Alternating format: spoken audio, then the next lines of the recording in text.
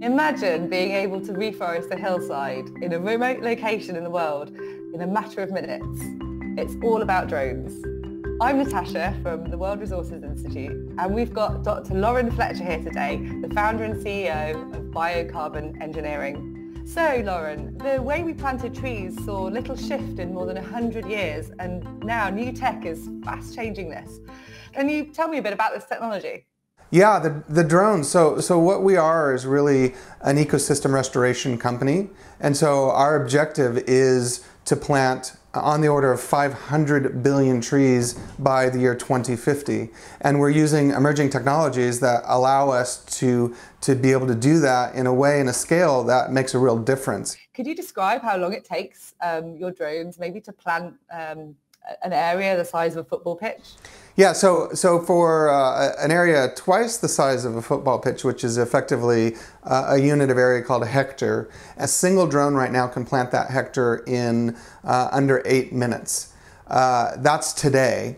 And then in six months, we'll be planting using multiple drones simultaneously, and we'll get that planting rate to under two minutes for each hectare. Wow, that's fantastic. That's it's, it's a really, really exciting area. Um, I'm sure people would love to know what motivated you to to develop drones um, which can plant trees. Um, I mean, maybe maybe would, you'd like to tell me a bit about that? Yeah, it's uh, you know there's there's a, a lot of you know emerging experiences over the years that you know uh, drove me in uh, towards this direction uh, through the university studying engineering and sciences. I, I, went to work for NASA working on manned space program and then after that um, the non-human life sciences program. So flying you know plants and insects and microbiology up to space station. So already that, that intersection between engineering and biology. And, and part of that connection from there was I was studying at Stanford University. I had a master's in uh, environmental, environmental engineering and sciences. Uh, and during that time, I took a course from uh, a very famous climatologist, uh, Dr. Steve Schneider, uh, and uh, on climate change. And as part of that coursework, I, I studied just the very small slice of, of, climate change factors, which was deforestation. And that, for me, is what really made that emotional connection to the issue. Uh, and, and I understood why forests were coming down so fast, but I was really puzzled at, at why it was so hard to put them back together.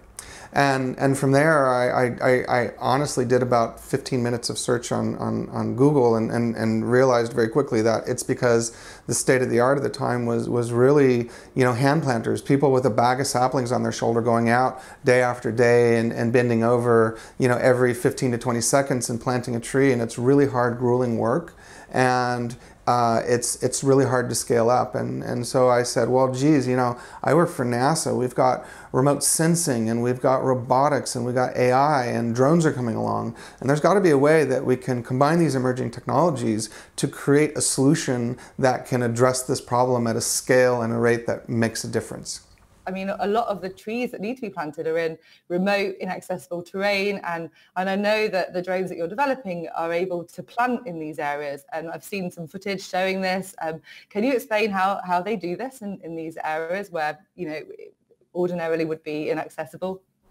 Yeah, so you know the first place that we start in terms of how the system works is that you know we start with you know satellite and remote sensing data sets that we take with our own drones, and we take a look at you know the areas that that are interesting for reforestation projects. We take a look at the topology, the hydrology, the mineral types, the the type of biodiversity that is already there, and if not there you know, in the local region to determine what sorts of species are the actual right species to plant in that area.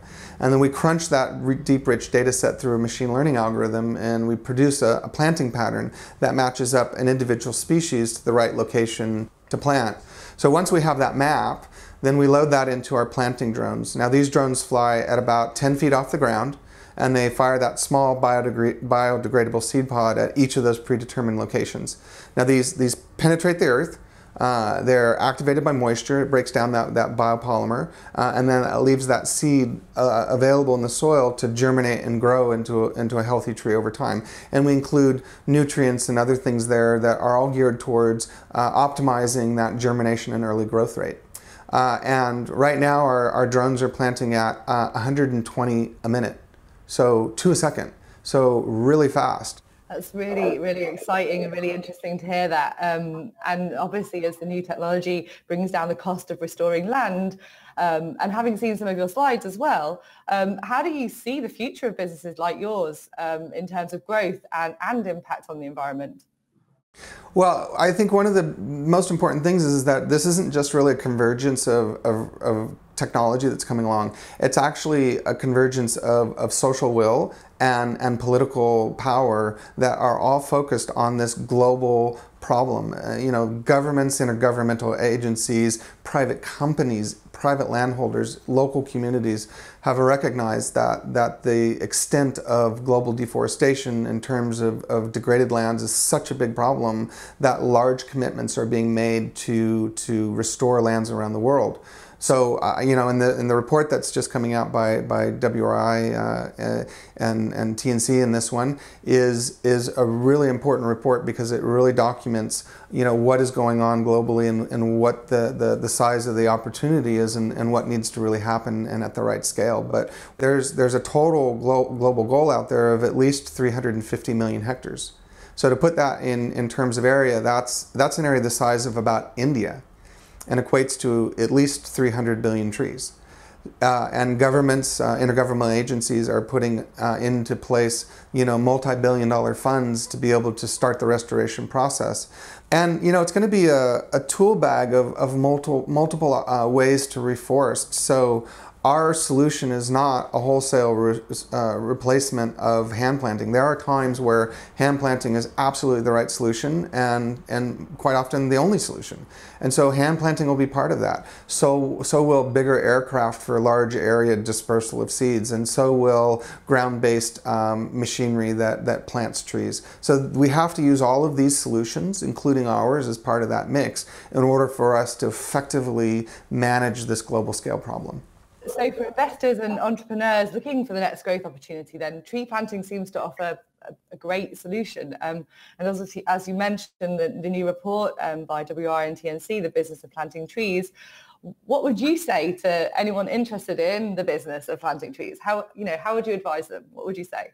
Yeah, this is about restoration of local ecosystems. Full stop. If you don't get the biology side right, then you're not a solution. So, so you really need to focus in on that. And then the other side to it is, is that this is about people at the end of the day. You can't just bring a technology solution to, to a local community and expect them to say, yay, you brought us a new tree planting solution.